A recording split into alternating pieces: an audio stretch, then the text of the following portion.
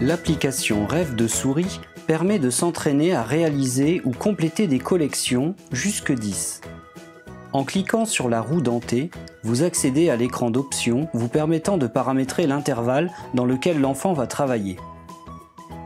Le jeu du grenier consiste à réaliser des collections. Dans le niveau 1, l'enfant doit regarder le nombre de fromages que la souris rêve de manger. Il doit ensuite glisser le bon nombre de fromages sur le plancher, puis valider son choix. Et encore un, deux. Et encore un, trois.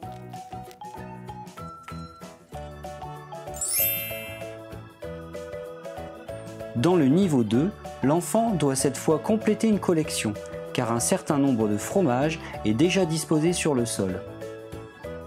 En cliquant sur Serge de Lama, l'enfant peut lire le nombre sous forme de constellation de dés.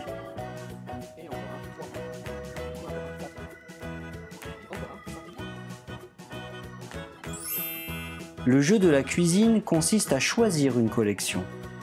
Dans le niveau 1, l'enfant choisit la collection correspondante au rêve de la souris.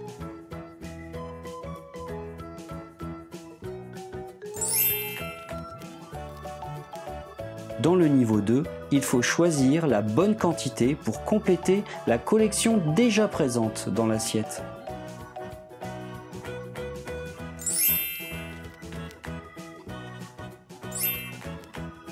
Pour réinitialiser les scores, il suffit de cliquer 5 fois sur Serge Delama.